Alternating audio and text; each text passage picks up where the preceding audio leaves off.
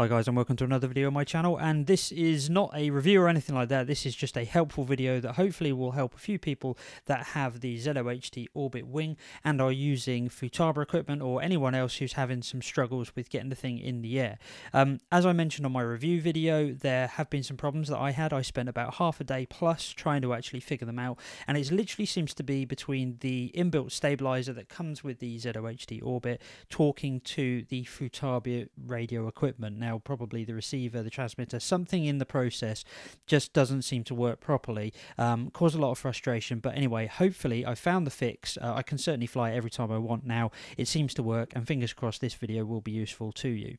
So let's just zoom in a little bit and we'll just have a look at where my equipment is set up. So nothing particularly complicated. Um, I'm not using S-Bus or anything like this. I am using an R2008 SB. I have tried this on several of these to see whether it was just this receiver or whether it was um, a fault with particular one. I also used the uh, two of the other Futaba ones, the one that came with my 14SG, which I can't remember. I think it's the 7008 um, and GS version as well. So it was definitely not not the receiver that was the issue. They had the same problem on all of them. So just as per the instruction manuals, I've got it very straightforward set up. The um, ailerons go into uh, channel 1.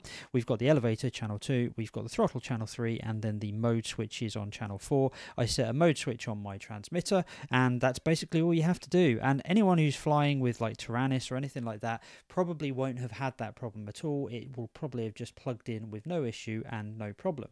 So let me just show you what the issue is. So basically, as as you would normally do, you make sure all your switches are off. I've got no mixes, anything like that, nothing weird set up on my uh, on my Futaba, and I know for a fact it is bound to the receiver.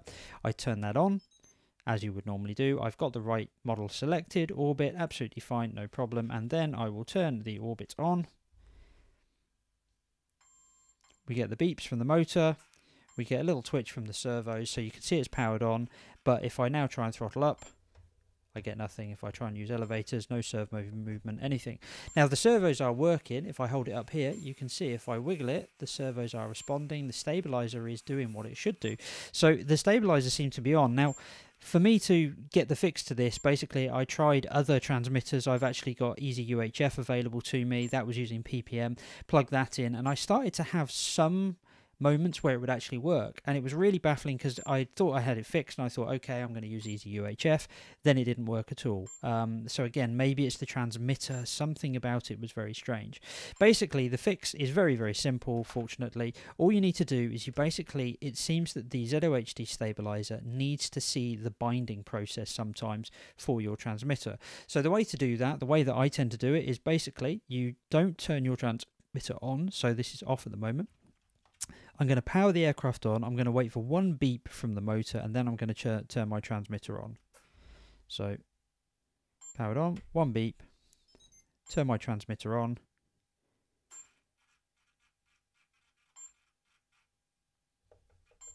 Nothing whatsoever. Okay, let's try that again. Like I say, it does it sometimes where you'll see it and it'll work and then it won't afterwards.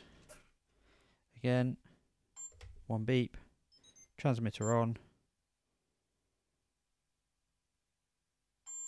There we go. Now we get a long beep from the motor and sure enough now I can move all the control surfaces, I can power the motor on, everything like that. Really, really strange. And sometimes I thought, okay, well, I just have to power on my aircraft first, that's fine. But sometimes if you leave it for too long, as you saw the first time round, it doesn't do it. You just seem to get have to get the right timing, but eventually it does bind. I've had no problems once it's actually bound and it's working. I've had no problems, it's not cut off, there's no, no issues in the air, anything like that. It just needs to get to that point where it will talk. Um, and if you don't get to that point, you can't do anything. You can't calibrate your Anything like that. It's very, very strange. But fortunately, it is resolvable. It may just be the stabilizer in this particular model that I've got. I have a second orbit wing coming that I'm going to do some customization with. I will test it out in that. But anyway, hopefully this has been helpful to anyone who's having this problem, whether it be a Futaba issue, whether it be other transmitters and receivers as well. Uh, fingers crossed that's good for you. And uh, yeah, I'll see you on the next one.